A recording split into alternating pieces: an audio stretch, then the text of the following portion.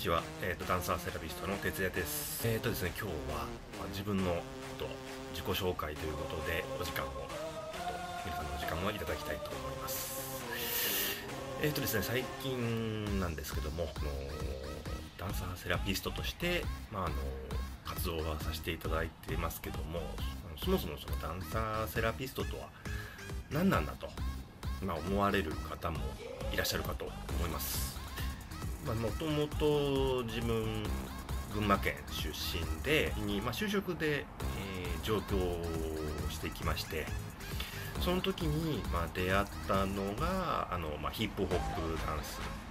だったわけです、はい、あのダンス甲子園とか今の EXILE の前身の、まあ、 ZOO のもともとのメンバーの方に基礎を教えてもらったのがまあ、ダンサーとしての始まりになってもうそれがもう28年前 になります。ちょうどですねちょっとその後ぐらいにうちの父親も、まあ、整体師をやっておりまして自分に、まあ、手に職をお前つけとけと、ね、これからどんどん景気も悪くなるし、まあ、ちょうどバブルが崩壊した時期だった、景気が悪くなるからお前転職を持っとけっていうことで、まあ、整体の学校に、まあ、当時、まあ、興味なかったんですけども行かされまして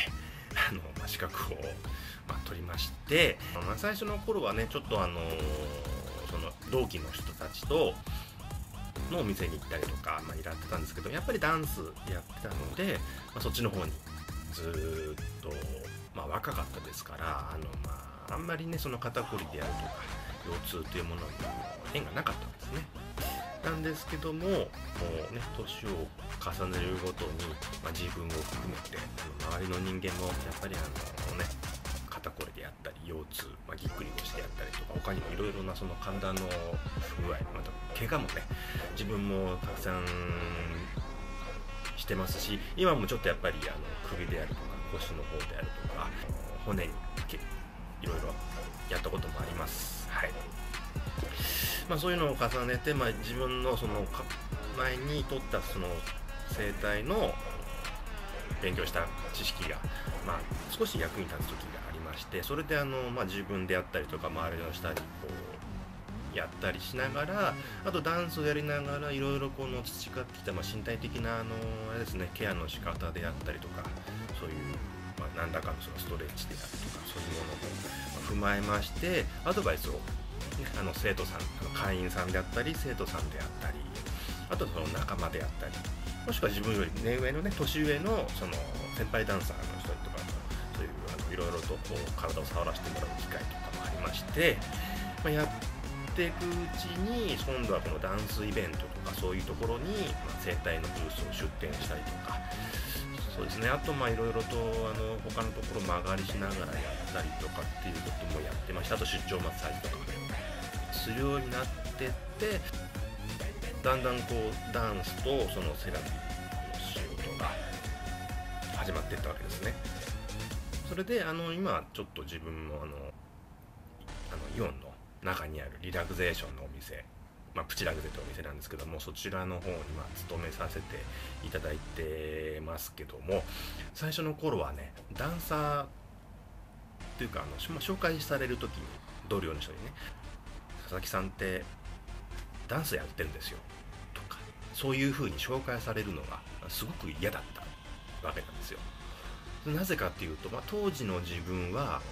まあセラピーの仕事はセラピーの仕事ダンスはダンスの仕事でもう全くあのもう別のものですとして考えてたんですけども本当にあのなんか言われるとすごいカチンときていやいやそんなの関係ないからって。あとお客さんは別に俺がダンスやってても関係ないじゃないか。ね。ただマッサージっていうかねほぐされて気持ちよくなれば別に誰だっていいじゃないかっていうまあ要は自分のことをなんかペラペラ喋るよりまあお客さんの話を聞いてあげた方のがいいんじゃないかっていうまあなんかそういうまあ風に思ってたわけなんですけどもまあやっぱり長いずっとやってるとやっぱりその共感話してて共感する部分っていうのはやっぱり自分の体験からしてもなんかやっぱねあの共感する部分があって例えばぎっくり腰であったりとか、ね、ヘルニアだったりとかああ分かりますよってね大変ですよね。自分もあのねダンスやっててねこういうのあのやったことあるんですよって言うとああそうなんですかのお客さんと。その辛いことの共有ができこの人はあの分かっててくれてるみたいな。口じゃ説明できないところをなんか、まあ、かゆいところに手が届くじゃないですけどもやっていってくれるんだなっていう、まあ、信頼関係が安心感が、まあ、あの生まれることがあの多々ありまして、えー、それがやっぱりその自分のそのやってきたことがやっぱり別確かにダンスとセラピーの仕事って別ジャンルなんですけどもやってる自分っていうのは1人なんですよ。だからどっちもダンスやってる自分もセラピストやってる自分も、まあ、同じ自分であると。だからそどっちの経験も、ね、ダンスやってる人には自分のセラピーやってる人の経験がやっぱり生かされるわけだしでセラピーの方でねあのお客さんのあのダンスやってる自分の経験経過した経験とかいろんなその動かすことの経験がやっぱり役に立つ時があるわけなんですよ。あだからあのやっぱりこれは自分しか出せないや個性なんだどっちも自分なんだなっていうことで最近はやっぱりその分けじゃなくてどっちもね一緒にあの必要な時は混ぜ合わせて、まあ、やっていこうかなっていうふうにあの思えるようになってきたわけです。はいこれはやっぱり本当に人って経験したことでしか、ね、発信することが、まあ、できないで中にはそのイメージでやることもありますけどもやっぱり自分で経験してきたことをやっぱり人に提供することに説得力がすごくあの生まれると思うんですよ。っていうかその経験をもとに自分がこのやっぱり皆さんにいろいろと提供できるっ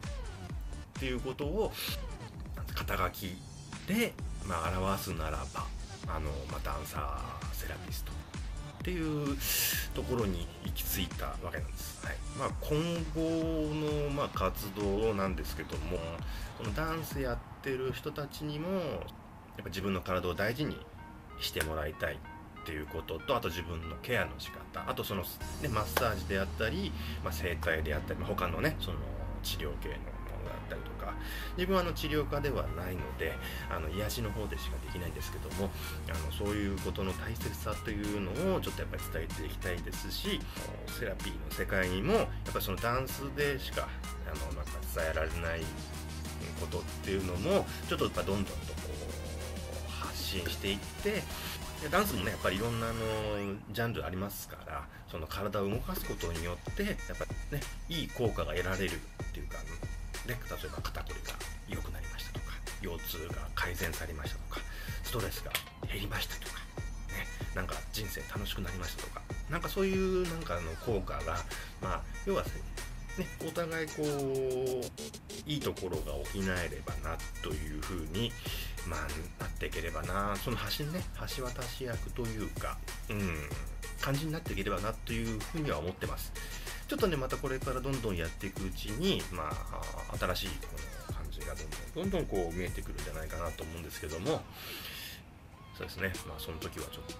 皆さんの力も借りするかもしれませんけどもよろしくお願いいたします。よろしくお願いします。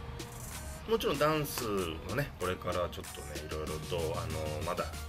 しばらく現役であの動けるところまでやっていきたいと思います。あとそのセラピストとしては、まあ、世界の視圧値ケンさん、ね、ケン先生の方にちょっとお世話になりましてあのフリーマッサージプロジェクト肩もみの方、ね、しっかりやらさせていただきましてあとはそのね指圧の